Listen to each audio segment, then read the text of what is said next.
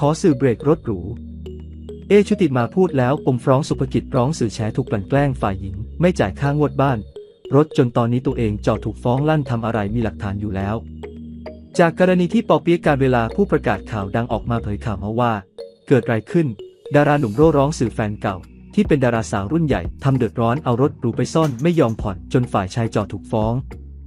โดยฝ่ายชายเผยเพิ่มเติมว่า หลังจากเลิกรากับนักแสดงรุ่นใหญ่ ตนได้ย้ายกลับมาอยู่บ้านกับพ่อแม่ โดยฝ่ายหญิงได้ขอรถยนต์รูและบ้าน ซึ่งเป็นชื่อฝ่ายชายไว้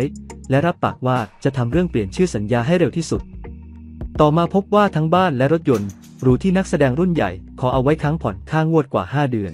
จนทำให้บ้านถูกธนาคารยึดทำให้เสียเครดิต ส่วนรถยนต์ทางไฟแนนซ์ได้เตรียมฟ้องร้องดำเนินคดีกับตนเนื่องจากอดีตแฟนนักแสดงคนดังกล่าว ไม่ยอมผ่อนต่อและได้นำรถไปหลบซ่อน ไม่ยอมส่งมอบรถคืนทำให้ตนได้รับความเดือดร้อน จึงมาขอความช่วยเหลือ ทั้งนี้ได้มีการเปิดเผยในภายในหลังว่าคนในข่าวก็คือฟรองสุภกิจอดีตแฟนเด็กของนักแสดงรุ่นใหญ่เอชุติมาที่เลิกรากันไปเมื่อปีที่แล้ว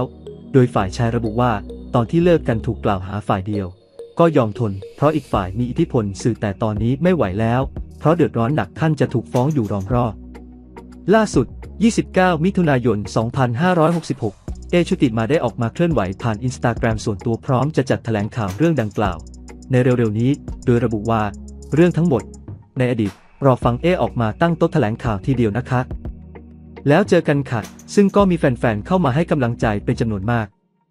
อย่างไรก็ตามเอได้เผยผ่านข่าวบันเทิงเที่ยงของช่อง Workpoint ว่า พี่เคยดูแลเขามา 6 ปีกว่าทั้งหมด ที่เขาพูดให้พูดไปแล้วรอพี่แถลงทีเดียว เพราะคนอย่างพี่พี่ทำไรพี่มีหลักฐานให้เรอแถมว่าทีเดียว และประชาชนที่ว่าพี่อยากให้ฟังความจากพี่ด้วยไม่ใช่ฟังความข้างเดียว เพราะพี่ทำอะไรพี่มีหลักฐานอยู่แล้ว ดังนั้นการที่เด็กอายุ 17-18 แล้วมีบ้านมีรถได้ ทุกคนคงคิดได้คงไม่ใช่เงินตัวเองแน่ ๆ ในเมื่อเขามีคนช่วยเหลือใหม่แล้ว ดังนั้นคุณจะฟ้องหรือคุณจะแฉกลับหรือฟ้องกลับไม่เป็นไรทุกอย่าง ต้องมีข้อมูลมีหลักฐาน